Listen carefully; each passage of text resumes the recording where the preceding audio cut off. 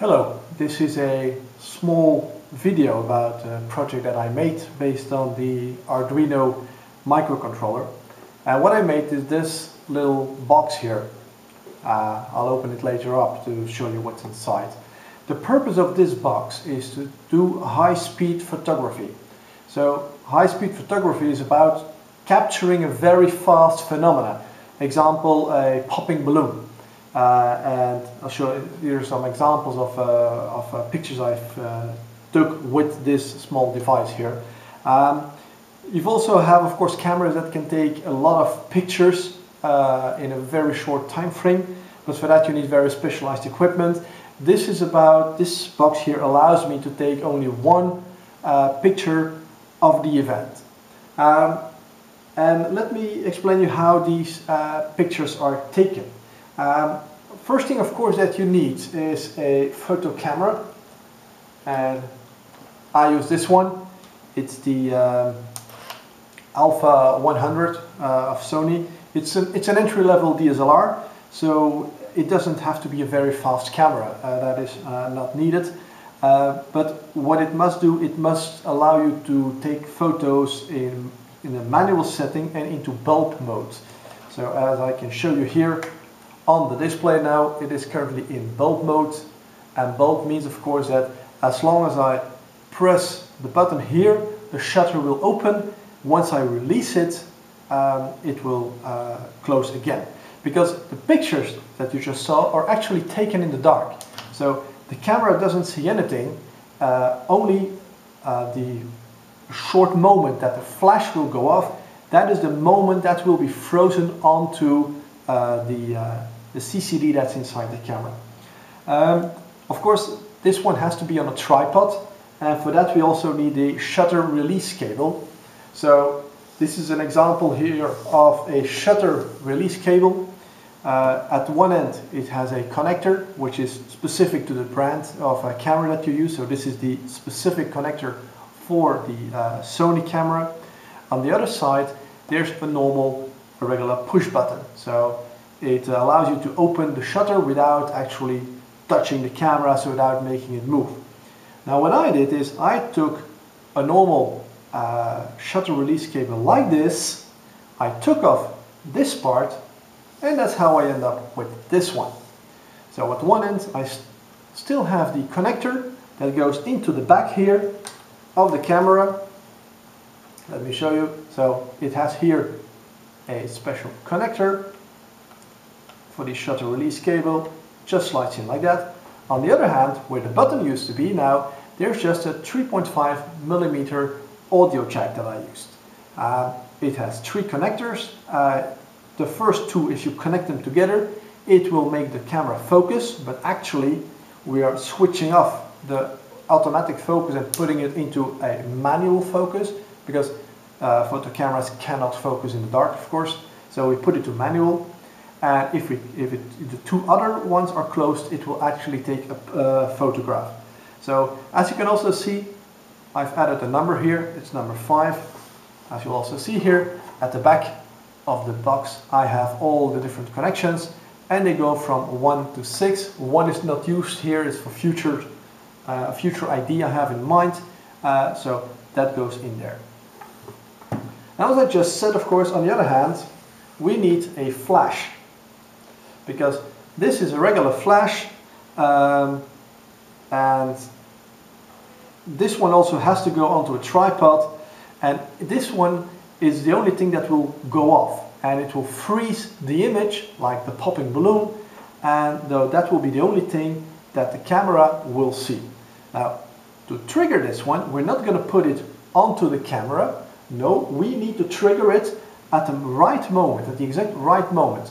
So what we also need is we need to detect sounds, for instance, like the popping of the balloon makes a sound and it's that sound that has to make this flash go off. Uh, the way I did it, by the way, is I uh, used a pellet gun uh, to shoot at the balloon. So actually it is the sound of the gun that makes the flash go off, but that's a, a detail, it uh, all depends. Now, to make the flash go off, I have this cable right here. Again, on one side is the same uh, it's a connection ready for the flash, so it goes uh, on the bottom, it just slides on. On the other end again, it's a 3.5 millimeter jack. Again, it has a number to go into this box later on. But now just imagine you've done the entire setup. I mean, you have the, your camera ready, you have your flash ready, they're on a tripod, uh, and you're using, and let me show it here, something to detect the sound. And I opened the box here, normally it's in a closed box, but this is actually a piezo sensor. Uh, again, with some wire, with a connection, so I can put it anywhere I like, uh, depending on the setup I'm doing. Again, a number here, uh, number six in this case, to go into the box. But suppose you've done your entire setup and at that moment, um, so you've put a balloon ready, you have for instance a pellet gun like I use or you use a needle to pop the balloon, whatever. Um, but then you have to go to the wall, switch off the light because pictures are taken in the dark and then you have to go back. And in the dark you have to uh, open the shutter of the camera uh, without making a sound, otherwise your flash already goes off. You have to find uh, your needle again, you have to know where you've put the balloon, and then you have to pop it or shoot it, even worse. That is very hard to do, of course. So what I was thinking, I was like, if I'm detecting sound, why can't I make the whole operation voice controlled? This one is detecting sound. Also, why can't I make going the lights off make any easier? So what I also added to the entire setup is actually this cable. And this cable, it's a normal power extension cable. So the only thing I did is I modified it and I put on this yellow box here. And as you can see here, there is a, third gray cable coming out. And at the end, there's again uh, one of the connectors that goes into the box. What is actually in here is just a plain relay. It can switch 220 volts up to 10 amps um, and that one can be controlled, is again controlled by this little box here. So one of these is actually inside of here. This is just uh, a normal uh, protective uh, case that you use if you put power plugs outdoor like Christmas lighting. Uh, and it was just cheap, easy, and that is what is inside. So what I do is I just put this in a power socket and on the other on the other end I just put in a light. Just a plain light bulb.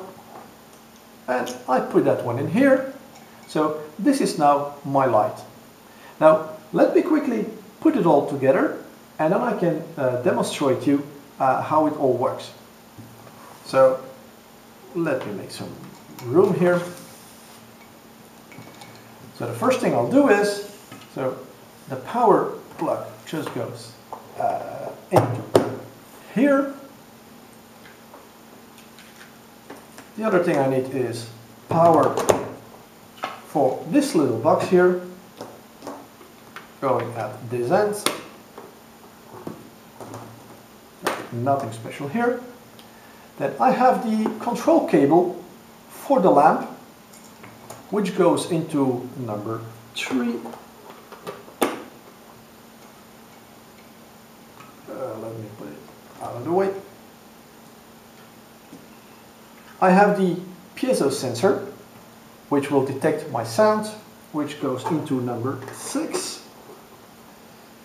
I have my flash, which goes into number four.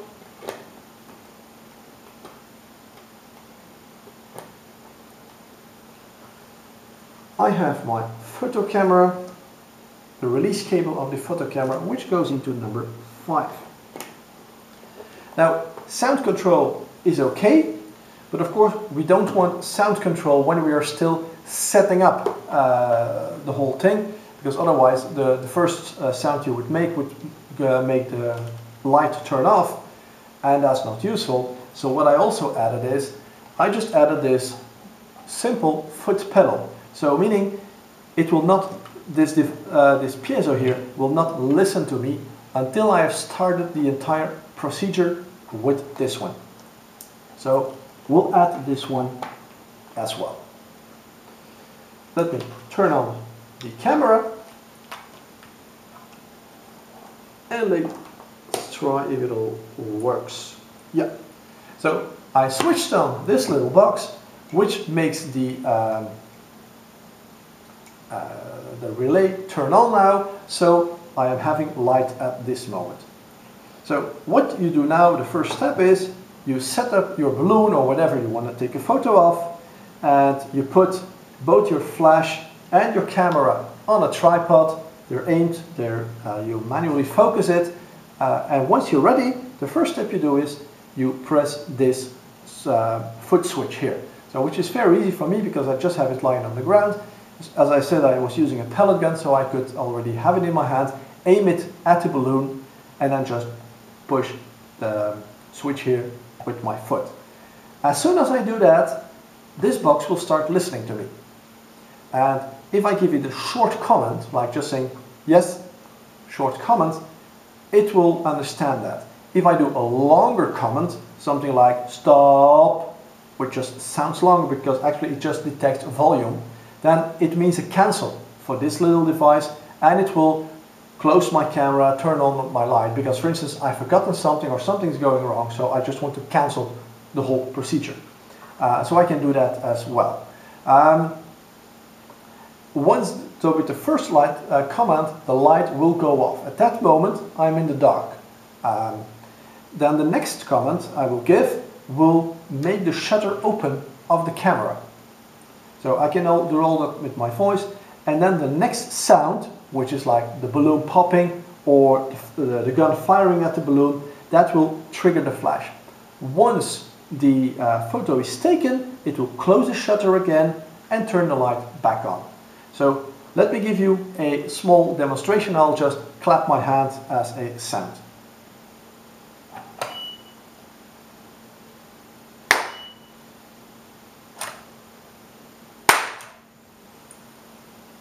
And there you have it.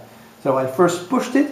You may have heard I've also added a buzzer in here. So it just uh, gives me a Roger beep to confirm like I heard you, I understood what you wanted. So the first uh, clap I did after I pushed the foot pedal, it turned up the light. The second clap actually made the shutter go on, go open. And then the third uh, times I clapped my hand, it made the flash go off, which would freeze the image of a popping balloon. So this is a quick demonstration of the whole procedure. Now, some other buttons I added here on the front.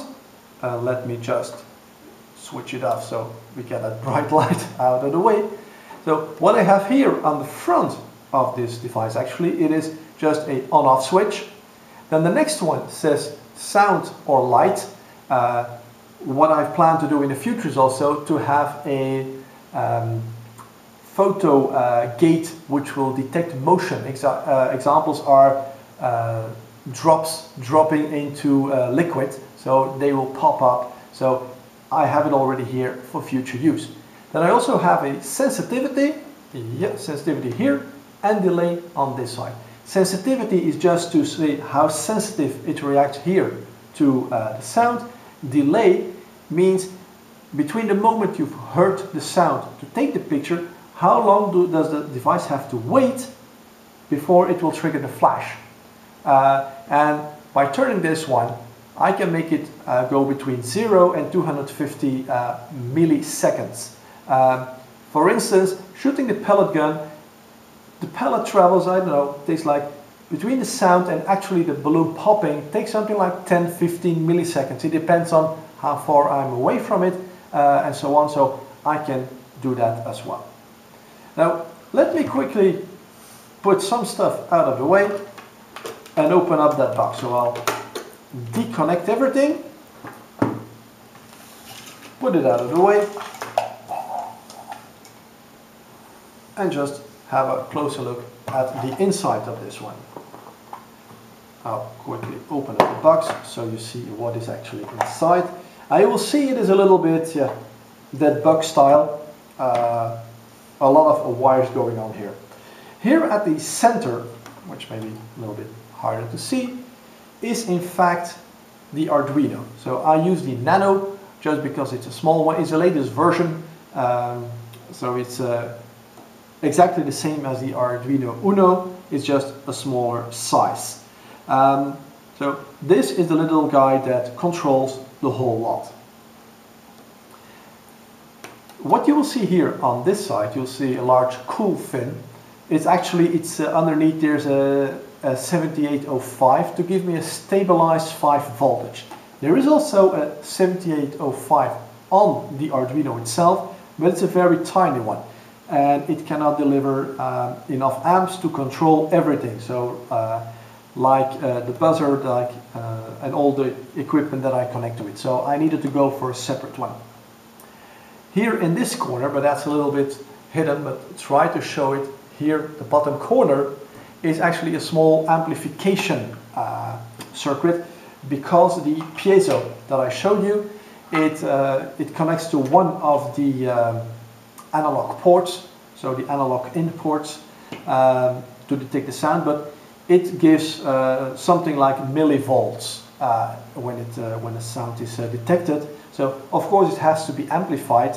Uh, there is around here a 100k uh, multi-turn potentiometer to fine-tune it so that when there is no sound, there's silence, this one will, to the analog pin, will give something around a 512. Uh, so that's what you would read uh, in your uh, program when there is silence. The moment there is sound detected, of course, it starts to oscillate between and above and below uh, the 512, so going somewhere to 0 or 10,023 uh, on the analog pin. So that's a little amplification unit here. Then here, a little bit hidden below these wires, are three uh, very small uh, reed relays. I wanted to have complete separation between the flash, between the camera, uh, so that this unit could never damage my equipment or vice versa. So I used reed relays because they are, have a faster switching time than normal relays. These ones are switching uh, within one milliseconds according to the datasheet. Uh, and they prove to be fast enough here for the device I just built. So that is what they are used for. There are three. There are two for the camera because as I told you, the uh, shutter release cable has three connections. You connect the first two to focus, then you have to connect the first and the last one also at the same time to take a picture or to open uh, the shutter as I'm in bulb. And then the third one is for the flash. This is just the buzzer, which gives me the Roger beep uh, if the uh, device has understood me correctly. The rest, of course, are just the potentiometers that go on the, at the front side here. Uh, there's a little LED here to uh, show you that the device is on. This, by the way, also goes off the moment the shutter opens because I want to be in complete darkness. So I didn't even want to have the LED here. So when I switch it on, it goes on. But the moment it opens the, uh, the uh, shutter of the camera, all even this LED goes off. So I don't even have a small red light uh, when I'm taking uh, the pictures. And that I think is about it. Uh, very simple box uh, and also in terms of the electronics that go around it. Most of the logic is of course within the Arduino and I hope this can help some other people who would like to build something similar. So thank you for watching the video. Bye.